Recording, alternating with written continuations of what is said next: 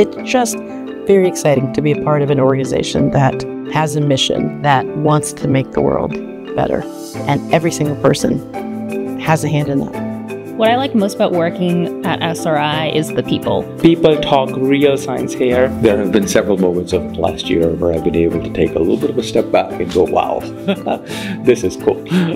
It's an exciting place to do cutting edge research that matters in real world applications.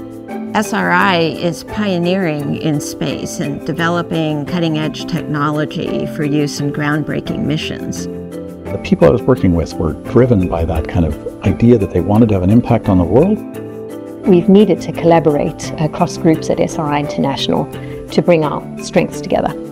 Our disability work is foundational, and I think it continues to be uh, some of the most important work. When we celebrate difference, we enable our team members to bring their best ideas to the table. I continue to be amazed at the breadth and depth of innovations that are delivered from SRI and the team of amazing technologists that are here.